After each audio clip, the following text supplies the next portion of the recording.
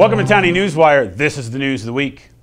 We've reached that time of year when dental practices around the country will begin offering candy buyback programs and sending the collected candy to U.S. troops serving us around the world. This just in.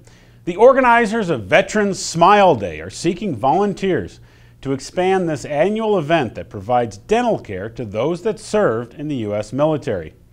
The event this year will be held on November 13th and 14th. Please contact Dr. Arani via email for more details. According to multiple sources last week, Dutch researchers at the University of Groningen are working on the creation of a 3D printed dental restorative material that is antimicrobial. Needless to say, more work will need to be done before this finds its way inside of a human mouth. Nanova Biomaterials of Columbia, Missouri commercialized NovaPro Flow, a new flowable composite that employs nanofiber technology. Updox of Dublin, Ohio released several new software features that integrate with Henry Schein's Dentrix practice management software system. Among the new features, secure email as well as appointment reminders.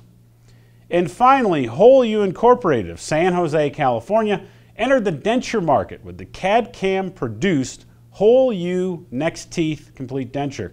In addition, the company launched Whole You sleep appliances. That's the news. Continue the conversation online at dentaltown.com. Content provided by